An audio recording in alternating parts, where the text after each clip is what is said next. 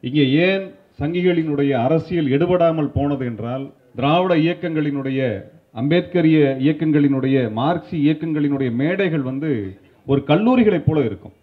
ஒரு மூன்று மணி நேரம் நான்கு மணி நேரம் ஐயா வைகோ அவர்களோ ஆசிரியர் வீரமணி அவர்களோ தோழர் திருமா அவர்களோ பேசுவதை கேட்கும் பட்சத்தில் எளிய மனிதர்கள் கூட படிப்பதற்கு வாய்ப்பில்லாமல் இருக்கக்கூடியவர்கள் கூட இந்த அரசியல் நுணுக்கங்களை புரிந்து கொண்டு விடுவார்கள். மேற்குலகத்தை சார்ந்த சமூகவியலாளர் ஒருவர் இது குறித்து சொல்லும் பொழுது மிக குறிப்பாக ஒன்று சொன்னார். என்னனால் தமிழ்நாட்டு மக்கள் அரசியல் நுண்ணறி நுண்ணறிவோடு இருப்பதை நான் பார்க்கின்றேன். இந்திய துணைக்கண்டத்திலேயே அரசியல் நுண்ணறிவு மிக்கவர்களாக தமிழ்நாட்டு மக்கள் தான் இருக்கிறார்கள் என்பதை அவர்கள் ஆய்வின் மூலமாக எடுத்துச் சொல்வதனுடைய அடிப்படை காரணிகளாக விளங்கியவர்கள் இந்த மேடை அலங்கரித்துக் கொண்டிருக்கிறார்கள்.